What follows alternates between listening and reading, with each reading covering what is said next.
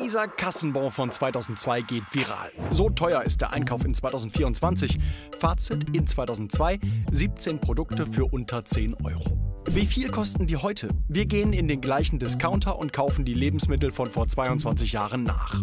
15 von den 17 Produkten aus 2002 haben wir erhalten. Alle Produkte sind inzwischen teurer geworden, mit Ausnahme von diesem Croissant hier. Das hat mich gerade mal 55 Cent gekostet. Krass, hier kosten einfach 2 Kartoffeln 2,49 Euro. 2002 gab es die haltbare Vollmilch für 55 Cent. Heute kostet sie inzwischen schon 99 Cent. Fazit: Für 15 Produkte haben wir bereits 14,61 Euro gezahlt. Unter 10 Euro ist also nicht mehr. Überrascht euch das Ergebnis? Schreibt es in die Kommentare.